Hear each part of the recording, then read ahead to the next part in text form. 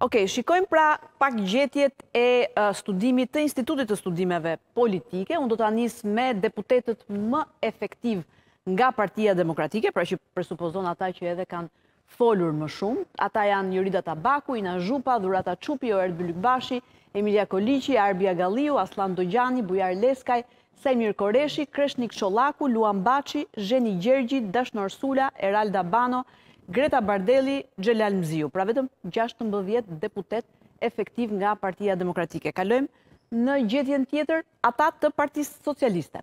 Erion Braçe, i pari, Klotilda Bushka, Nasip Naço, Eduard Shalsi, Lavdrim Krashi, Antoneta Dhima, Arben Pëllumbi, Petro Koçi, Klevis Xhoxhi, Ermonela Felaj, Denis Deliu, Evis Kushi, Klodiana Spahiu, Milva Ekonomi, Alban Xhelili dhe Etilda Gjonaj, deputetët më efektivë të Partisë Socialiste.